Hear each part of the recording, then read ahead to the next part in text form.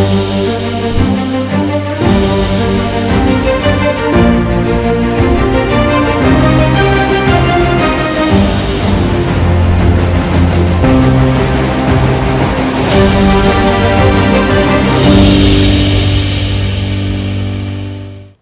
¿qué tal mi gente? Aquí estamos de nuevo una vez más en este tu programa, Energía y Sociedad. Déjeme decirle que aquí hace frío. Yo tengo frío. Ingeniero Juan de Dios. Cuéntame. Eh, Saludos, muy buenas noches al país, muy buenas noches a la sociedad dominicana. Un placer estar con ustedes esta noche, compartir la visión del país y del mundo. Ingeniero, ¿tiene frío? Yo no. Ah, ah, pues soy yo. Me estoy muriendo. Mira, líder, hay que mandar saludos hoy. Como siempre, dale, dale, dale. Sí, sí, en la UA, usted sabe que ya se abrió el semestre, Sí. hacen dos semanas ya, y están dando clases. He encontrado mucha gente que me dicen, tú tienes un programa en el canal 45, yo te veo. Sobre todo, usted sabe que ya tenemos gente que nos sigue, como el maestro eh, Marco Rodríguez, Marco Rodríguez, sí. la maestra Janet Borque. Profesora de ella, claro. Sí, sí, sí. Y, Pero yo quiero saber, ah, pero Andrés Labul, al amigo Andrés Labul, un saludo para él. entonces varios, eh, varias personas de tus estudiantes te han dicho, Sí, sí, no solamente de, de los estudiantes míos, también algunos amigos. ah, ok. Tú sabes que yo tengo muchos amigos allá en la UAS. Sí, sí. Entonces, yo vi a Mario Torres, él dijo que él vio el programa la semana pasada. Un saludo para ti, Mario Torres. Vive en la zona colonial. Que lo vimos ya una vez que fuimos a comer ahí a un sitio. A Miguelina, la señora que por ti también. Sí, me la saluda. Sí, sí, un saludo para Miguelina. Ella sí, cada sábado ve el programa. Qué bueno. qué Sí, bueno. sí, sí. Como, como Teodoro Hierro, él siempre me escribe en Twitter, ingeniero, estoy eh, activo, le- viendo. Sí, un saludo para sintonía. un saludo para Pedro Pablo, para él y su familia, un saludo para Julito, un saludo para Ponte, un saludo para el amigo Robinson, llamado Simón Peguero, uno de los hombres más conocidos de Villajuana. Y un saludo para Disla desde Puerto Plata. Y un saludo para Francisca Díaz y a ella y su familia. Señores, eh, entrando en materia, doctor, hoy vamos a hablar de pérdida técnica. Sí, vamos a dar un pequeño como a forma de seminario ahí, una clasecita. Sí, ¿Y no, cómo van tus estudiantes, doctor? No, vamos avanzando. Mira, hace dos semanas que empezaron las clases en la UAS, pero esta semana fue que empezó el laboratorio, que es lo que mueve más gente, por así decirlo. sí, sí. Porque la semana pasada se veía como vacío. Bueno, también el- la primera semana no va mucho. La práctica el profesor- 4, ¿verdad? Que se está dando. Sí, la práctica Eh, 4, de laboratorio de química básica. Reacciones químicas. Nomenclatura de compuestos inorgánicos, correcto. binarios y eso. Sí, compuestos Entonces, mira cómo tengo la voz, porque hay que vocear. Meten cuchu cuántas mil gente en un aula. Sí, pero esa es la voz, esa es la más mejor del mundo. Esa es la más mejor, la voz, esa es la mía. La de nosotros. Ah, bueno, la tuya también. sí. Yo sé que la mía, muchos se sienten mal, pero esa es mi universidad. Nadie me habla en contra de ella. Ni Nadie me habla en contra de ella. Así mismo es. Así que estamos ahí. Gracias a la UA, hoy nosotros podemos decir que somos profesionales. Claro. Sí, sí. A buen precio ahí. dado.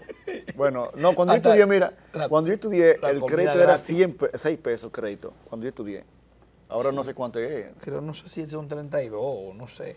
Pero al fin y al cabo, doctor, eh, la comida gratis también. Ah, el comedor. Ey, es verdad, gratis, qué bien, mano. Hay un, oye, esto. oye, esto. Hay muchos estudiantes que no van al comedor que porque es gratis, que, que, que esa comida para pobres. Oye, hay muchos parejeros aquí, señores. No, no, es que el pueblo dominicano es así. Ya, Vive de apariencia, ¿oíste? Miren de experiencia. Y yo voy a, oiga, yo soy profesor y yo voy a mi comedor. A veces, no, a veces realmente no está muy, salu- muy saludable de, de sabor. Pero yo me como mi comida. Sí. A Pero- mí lo que más me gusta del agua es cuando co- cocinan ese locro de arenque Ah, con habichuela. Yo era enfermo con esa. Y yo también. asunto, los lunes. Yo recuerdo los lunes, sí. Sí. Yo salía hasta temprano en la clase para allá Oh, muchacho, Mira. que- ay, nadie me habla en contra de mi locro de arenque. Entonces, sí, un huevo. Y pan oye, con huevo, ¿verdad? Excelente, el huevo. Un huevo con, no sé, como empanizado, ¿eh? Ese es mi comedor de la. Aún, yo- oiga, me gustaba tanto como estudiante que aún siendo hoy profesor, yo a mi comedor. Y cocinaba un arroz blanco con habichuela y luego le metían, tú sabes qué líder, le metían como un viaje de bacalao, como, como, como, como ligado con papa. Con papa. Y iba- pero bacalao. No, a mí me gusta. Señora, a mí me gusta mi comedor. Yo me gozo y me gusta con estudiantes a veces que dicen "Di que, que no, que sepa pobre. Yo te digo a ti. si la comida del comedor fuera, la vendieran a 500 pesos, ahí tuviera la fila por decir que están pagando 500 pesos. Oye, oye, ¿cuántos prejuicios y complejos hay aquí en algunas personas, oh santo Dios, ten misericordia. Sí, sí, doctor. Sí. Entrando en pérdida técnica. Ya después de esa introducción un poco jocosa para relajar un poco, ¿verdad? Sí, sí, Tanta sí. seriedad. Hay que mandar un saludo a Manuel Emilio, que es un amigo de nosotros, que da clase de matemática y profesor de la Universidad Autónoma de ¿El Santo que está Domingo. estudiando ingeniería química? Eh, ese ese mismo. Hay un amigo que tú me enseñaste. Ese mismo es. Ah. Ese, él es doctor en, en fi- en matemática. Es duro. Es muy duro. Porque un doctor en muy matemática. duro. En Chile. Y está también el maestro, el maestro Víctor eh, Ramírez, también gran amigo de nosotros, y Harold, que se llama Francis Mora. Un saludo para él y su familia. Que es, los dos, los dos son doctores. Francis Mora, doctor en álgebra superior, en Wow. álgebra mat- matricial, y Manuel en Oye, derivada parcial. aquí en Dominicana hay muchos profesionales de alto nivel. Sí, oíste. sí, de- mm, doctor en derivadas parciales, ecuaciones en derivadas parciales. Eso es algo a otro nivel, hermano. Un doctor en matemática, mi, mi respeto. Y eso, yo tengo un doctorado, pero yo respeto. El que estudia matemática es porque tiene profundidad y agudeza. Oh, pero venga acá. Sí, sí. Para mí, No, y eso es además, otro y nivel. son, y son muchachos que vienen del polvo de la derrota, del polvo de la pobreza. Yo lo conozco porque estudiamos juntos. Ok. Pues nosotros vinimos de abajo, pero muy de abajo. Nosotros pasábamos hambre. ya tú estás arriba. No, no, no estoy arriba, pero no estoy como antes. ok. Pues gracias a la UAS. Saludos sí. por la UAS, señores. Nuestra universidad, que tenemos que valorarla. Sí, sí. Cambiar lo que haya que cambiar, pero siempre defender nuestra universidad. Un saludo a, para los padres de mi amigo Sadán Suriel, el señor Suriel y la señora del Orbe. Esa, esa gente nos ven cada sábado, doctor, sin falta. Qué bueno. Mando un saludo para ellos. Un saludo. Miren, vamos a hablar un poquito de pérdidas. Per- en este caso, hoy, luego en otro programa hablamos de, de la otra, pérdidas en el tema energético. Está como muy en el tapete ahora sí el tema energía por los apagones, que algunos funcionarios quieren hacer un media tour y creen que con ese media tour se acaban los apagones. No, los apagones se acaban haciendo lo que hay que hacer, no de que yendo a un programa a bla, bla, bla, bla, a bla, bla. Bien, entonces, para decir algún concepto básico, las pérdidas se dividen en dos, pérdidas técnicas y pérdidas no técnicas. Hoy vamos a compartir varias presentaciones sobre pérdidas técnicas. Bien, ya en otro programa vamos a ver varias presentaciones sobre pérdidas no técnicas. De acuerdo, para que quede luego este programa ahí en, en la red, si usted quiere repasar el concepto, porque vamos a presentar una diapositiva y eso, para que vayan todo el mundo, como si fuera una clasecita de pérdida técnica hoy. Luego el ingeniero Juan de Dios va a hacer un comentario sobre las Naciones Unidas. Entonces, vamos a ver, vamos a pedirle al señor director que, ponga, que ponga la primera imagen en pantalla. Y así todo lo vemos. Ok, señor director, primera imagen. Ok, ¿qué tenemos? Dice, las pérdidas equivalen a la diferencia entre la energía generada, recibida o suministrada y la energía facturada por la compañía eléctrica. Sigue diciendo, la pérdida eléctrica es un componente clave en la medición de la eficiencia y la sostenibilidad financiera del sector eléctrico. Representa la diferencia entre la cantidad de electricidad que ingresa a la red y aquella que es entregada para consumo final, reflejando el nivel de productividad de la infraestructura en transmisión y distribución. Muy bien, gracias, señor director. Ahí tenemos una idea de la, lo que se conoce como pérdida. Más adelante vamos a ver que no es que se desaparece o que se perdió. Vamos a ver a qué eh, específicamente. Vamos ¿Por qué se llama cosas. pérdida, Sí, muy bien. Pero, ok, pérdida, Nico. Pero ¿dónde es que se pierde la energía? Si es que en algún punto se pierde. Señor director, la imagen número 2. Vamos a ver en pantalla la imagen número 2 que dice, ¿dónde se pierde la energía? Vamos a ver todos. La energía se pierde primordialmente en dos etapas de la cadena del sistema eléctrico. La primera etapa, durante el transporte de la electricidad generada y la otra, y a través del consumo final no medido y no facturado. Esas dos formas, gracias señor director, son las formas de pérdida. Durante el transporte o la línea de transmisión y durante la distribución, la que se factura y no se cobra. La primera, durante la transmisión, que es la pérdida técnica, vamos a ver más detalle, y la otra, facturada, no cobrada, pérdida no técnica, que hablaremos en otro programa, solo eso. ¿De acuerdo? Más cosas de las pérdidas. Ya vimos que en dos etapas. Vamos a hablar de la primera etapa, que es eh, durante el transporte de, de la electricidad generada. Entonces, vamos a pedirle al señor director que ponga la imagen número 3. ¿Qué dice la imagen número 3? La primera etapa, durante el transporte de energía generada, la diferencia entre la electricidad que ingresa al sistema y aquella entregada al consumidor final se relaciona directamente con las ineficiencias técnicas del sistema de transmisión. Bien, gracias señor director. Poner la imagen número 3. Esa es la primera etapa durante la transmisión. Transmisión tiene que ver con el transporte, por cable, Así es. pasa por La línea de transmisión, la subestaciones, de esas antenas que vemos en la carretera muchas veces cuando vamos a, a una provincia, a un pueblo. Así Bien. es. Más cosas de las pérdidas técnicas y no técnicas. Vamos a pedirle al señor director que ponga la imagen número 4, porque todo vamos a aprender hoy. Bien, hoy vamos a, sa- a salir el técnico en pérdida técnica. para, que, para que cualquiera cuando quiera hablarle, usted tiene por lo menos la idea, no quiere venderle sueño. Y así, cuando vaya cualquier persona, funcionario lo que sea, cuando hablan de pérdida técnica ya usted tiene una idea y puede hasta corregirle cualquier bla bla bla que diga.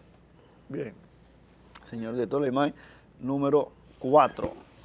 Dice, cuando se habla de pérdida, lo hemos repetido, se habla de pérdida técnica y pérdida no técnica. Estamos hoy con la pérdida técnica. Pérdida técnica, mire esa imagen ahí, número 4. Están relacionadas con el flujo de corriente y los materiales que se utilizan en una instalación eléctrica. ¿De acuerdo?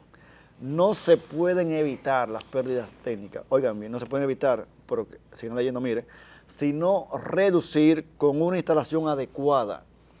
Seguimos leyendo, pensé, miren, estas pérdidas se pueden calcular, los ingenieros las calculan, por eso se pueden dar datos, pero miren qué más dice, el recorrido de la corriente eléctrica por los equipos y conductores produce calor, entonces, con lo cual se va perdiendo parte de la energía producida por las plantas de generación de electricidad. Fíjense que perdiendo lo tengo en cursiva. Bien, gracias señor director. ¿Por qué? Porque no es que se pierde como que se desaparece, sino que hay una transformación de energía eléctrica, como los cables o los, Conductor. los conductores eléctricos que se utilizan, cable y alambre, ¿verdad que sí? Se van calentando, entonces esa electricidad va llegando menos al consumidor final porque se va transformando en calor. En y calor. es que se- para uno es pérdida porque uno quiere que llegue como electricidad, pero hay una parte que se va quedando en el camino que se va Eh, eh, convirtiendo en calor. A- así mismo. Entonces, así es. es por eso que se llama pérdida, pero no de que, que se desaparece, No, que y- tenía ahí ¡pum! y se perdió. Y No, también, doctor, se Es que se transforma porque hay un principio Eh, físico. Eso que te iba a decir. Ah, dale, dale. Hay un principio de la energía que dice la energía no se destruye ni se, ni se No se pierde. crea ni se destruye. pierde, es Sí, solamente no se que crea ni tra- se destruye, se sino que se transforma. transforma. un Correcto. principio físico de- y, un- y una ley primordial de la termodinámica. y de la, mate- primera ley. Y la ley de la materia del agua que la dice Lavoisier, que se, se dice de Lavoisier, pero hay un error. Hubo uno que primero que Lavo- Lavoisier la enunció primero que él. Correcto. Lavoisier fue que la descubrió. Es decir, la descubrió ese escrito. Fue Mikhail Lomonosov, un ruso. Un ruso. Entonces, lo adecuado sería decir la ley de Lavoisier Lomonosov. Correcto.